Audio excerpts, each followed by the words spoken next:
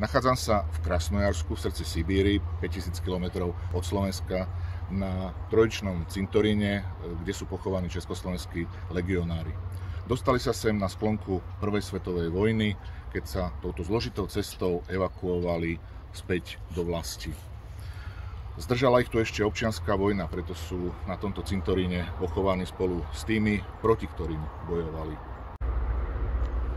Pôvodný pamätník, ktorý tu stojí, je v zlom technickom stave, preto v roku 2006 pri návšteve prezidenta Gašparoviča bol odhalený nový pamätník, o ktorý sa stará Ruská federácia na základe dohody o ochrane vojnových pamätníkov medzi Slovenskom a Ruskom, tak ako sa aj my staráme o vojenské hroby červenoarmejcov z druhej svetovej vojny, ale aj carských vojakov z obdobia prvej svetovej vojny.